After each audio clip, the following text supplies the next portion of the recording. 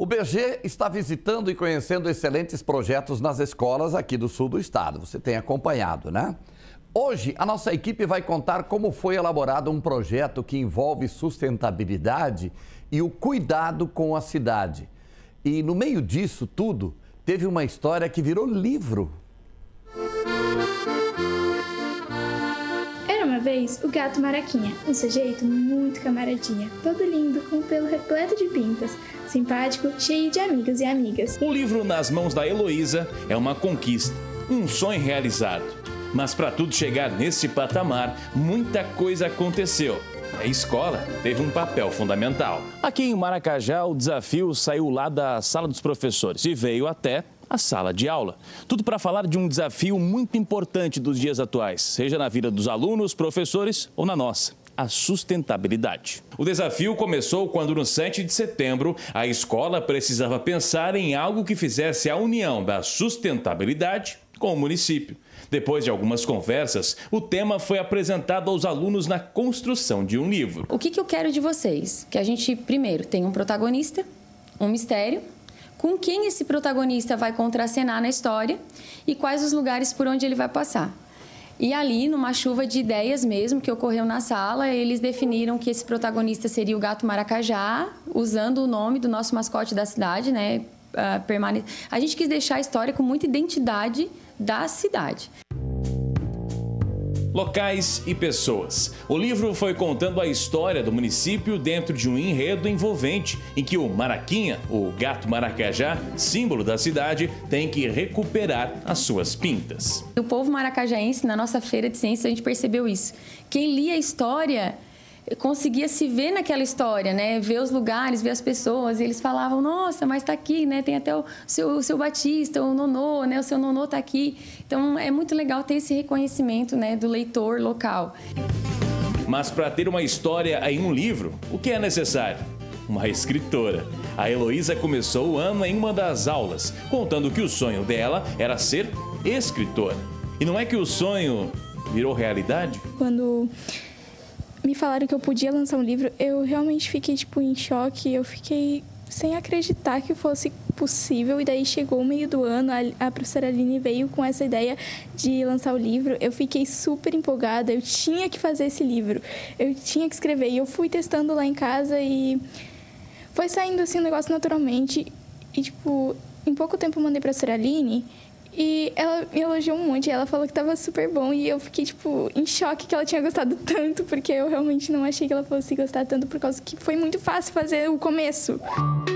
Tudo com ritmo, graça e ludicidade, para ficar de um jeito fácil e alegre de contar. A jovem escritora contou sobre o processo criativo. Eu peguei um caderno, eu cheguei no meu quarto, eu fechei a porta do quarto e eu peguei, sentei na minha cama, coloquei o caderno, assim, um, uma caneta, coloquei uma música para tocar e fui escrevendo. O que vinha na minha cabeça eu ia escrevendo. Eu nem parava pra pensar se estava fazendo sentido. Depois eu fui olhar ali o verso, se tinha ficado legal, se tinha feito sentido, se tinha ficado engraçado, se combinava com a proposta que era para ter aquele verso. E aí, se tinha algum problema, eu arrumava, eu consertava.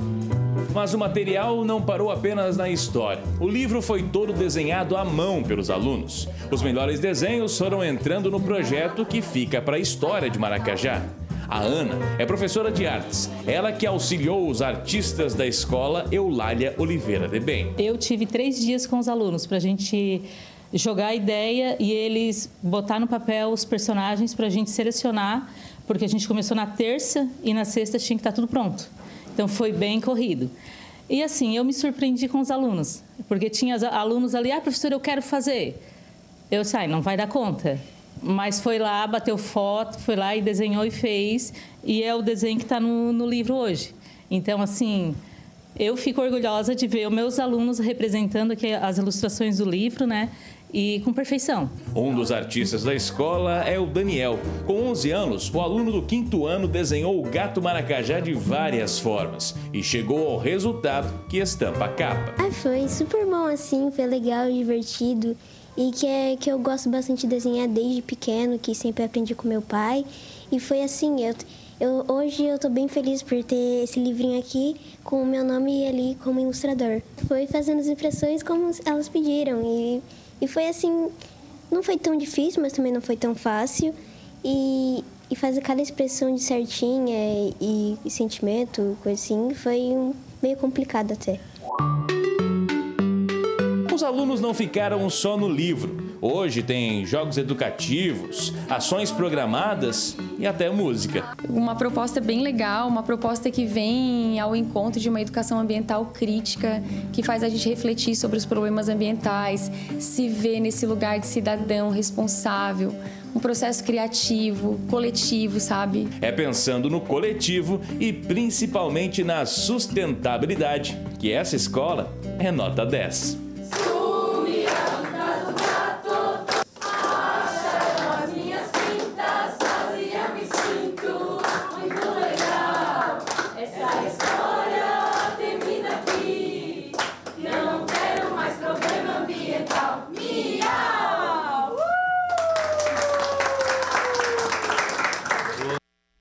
Que espetáculo, pequeno Gostei da gesto, caracterização pequeno ali. Pequeno gesto. Olha a riqueza que essa escola traz para gente. Muito bom. E uma iniciativa, poxa, é de aquela história de pensar fora da caixa, é. né? aquele, né, ficar, pô, criatividade. Parabéns a essa escola, parabéns a todos os professores, alunos. E aí torna o processo diferença. de aprendizagem muito mais interessante. Muito né? mais interessante. O 10. resultado é, é outro.